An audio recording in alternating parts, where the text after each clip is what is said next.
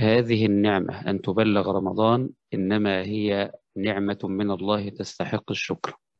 نعمة من الله تستحق الشكر. لأنه كثير من أهل الدنيا كانوا معنا في العام الماضي وهم الآن تحت أطباق السراب ولو أنك سألتهم إحدى أمانيهم أن يعودوا إلى الدنيا ويبلغوا رمضان فيصومونه إيمانا واحتسابا ويقومونه إيمانا واحتسابا. الأمر الآخر أيها الأحبة وهو لابد من بعد معرفة فضل رمضان ومعرفة شرف هذا الوقت لابد من إثارة الشوق إلى الله تبارك وتعالى. بعث الشوق إلى الله واستثارته. كيف ذلك؟ أن تعرف نعم الله عليك. أن تعرف نعمة الله سبحانه وتعالى عليك. أن, بل أن بلغك رمضان. من أسماء الله سبحانه وتعالى المحسن وإحسان الله إلى العبد لا ينقطع عنه أبدا بل في كل نفس يتنفسه العبد إنما هو فيه إحسان من الله لك. والدليل على ذلك لو أن إنسان كما قال الأطباء مثلا الإنسان يتنفس في اليوم والليلة 24 ألف نفس هذا النفس إحسان من الله لك. هذا النفس الذي تتنفسه.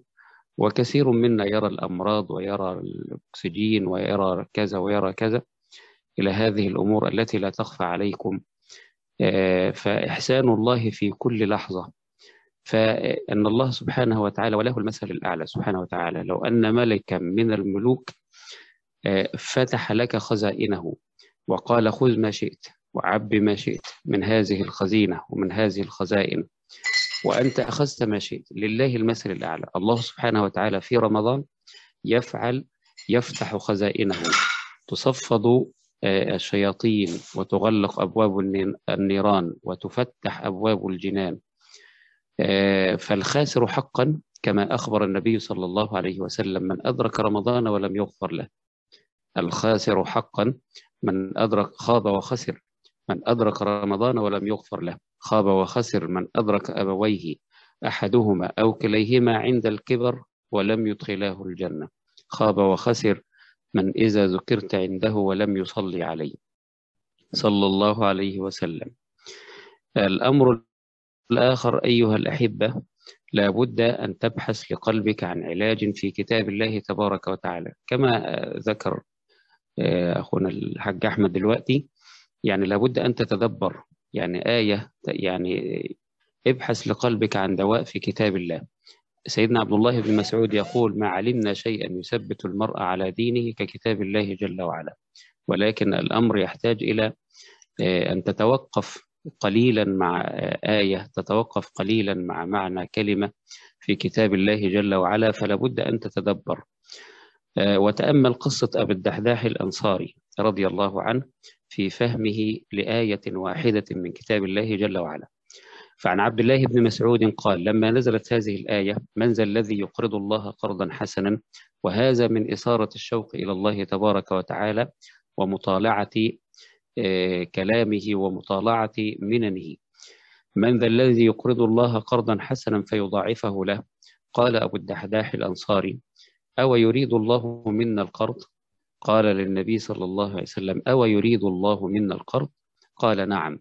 فقال يا أبا الدحداح. فقال أبو الدحداح للنبي صلى الله عليه وسلم قال أرني يدك يا رسول الله. فناوله النبي صلى الله عليه وسلم يده فقال أشهدك على أن بستاني هذا وهو ما أملكه حائطي هذا أقرضته لربي جل وعلا.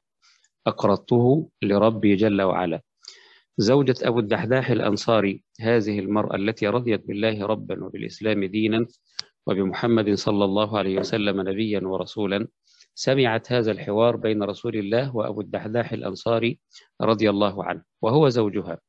يقول الراوي فذهبت إلى أطفالها فتخرج ما في فيهم من التمر وتنفض ما في أكمامهم وقالت هي لله جل وعلا فقال النبي صلى الله عليه وسلم الجزاء من جنس العمل فما كان من رسول الله إلا أن قال كم من عزق رداح في الجنة لأبي الدحداح. كم من عزق رداح في الجنة لأبي الدحداح. أي هذا البستان كي كم من بساتين فيها نخيل لأبو الدحداح الأنصاري بسبب قرضه لهذا الأمر وفهمه لآية واحدة. كم من عزق رداح في الجنة لأبي الدحداح فنحتاج إلى هذا الفهم وهذا التدبر وهذا إثارة الشوق إلى الله تبارك وتعالى. الأمر الآخر أيها الأحبة وهو المجاهدة مجاهدة النفس. مجاهدة النفس أسأل الله عز وجل أن يرزقنا وإياكم وأن يوفقنا وإياكم إلى طاعته. فالنفس تحتاج إلى مجاهدة من عدم ضياع الأوقات وعدم الإسراف في الفضول في كل شيء في كل شيء. أن تأخذ هدنة من الكلام ومن تضييع الوقت ومن يعني أسأل الله عز وجل أن يعلمنا وإياكم هذه الأمور التي تضيع عليك هذا الشهر. فلا بد أن تضع لنفسك هدفا. آه الإمام آه الحسن البصري رحمه الله تبارك وتعالى يقول من نافسك في الدنيا فألقها في نحره. وإن استطعت ألا يسبقك إلى الله أحد فافعل. وإن استطعت ألا يسبقك إلى الله أحد فافعل. فلا بد أن يكون شعارك في رمضان هذا الشعار. وعجلت إليك ربي لترضى. وعجلت إليك ربي لترضى. وأنا حقيقة يعني أرفع هذا الشعار وأريد من حضراتكم أن ترفعوه. وعجلت إليك ربي لترضى.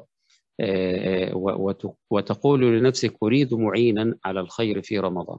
أريد معينا على الخير في رمضان. الأمر الآخر أيها الأحبة وهو علو الهمة وهو علو الهمة. أسأل الله أن يرزقنا وإياكم علو الهمة في طاعته سبحانه وتعالى.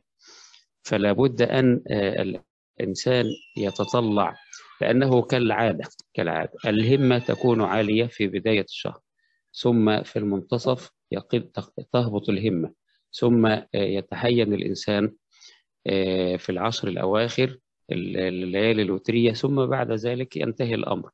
لا أقول لك ولنفسي ربما يكون رمضان الأخير بالنسبة لك. ربما يكون رمضان الأخير بالنسبة لي ولك. فلا تبلغ رمضان مرة أخرى فاجعله رمضان الأخير. لو أنه قيل لك بعد خمس دقائق سيأتيك ملك الموت فصل ركعتين. فلا تسأل عن حسنهن ولا التدبر والخشوع. وإلى صلاة مودع. كذلك كأنه رمضان مودع كأنه رمضان مودع فلا تدري لعله يكون رمضان الأخير. أسأل الله أن يوفقنا وإياكم إلى طاعته.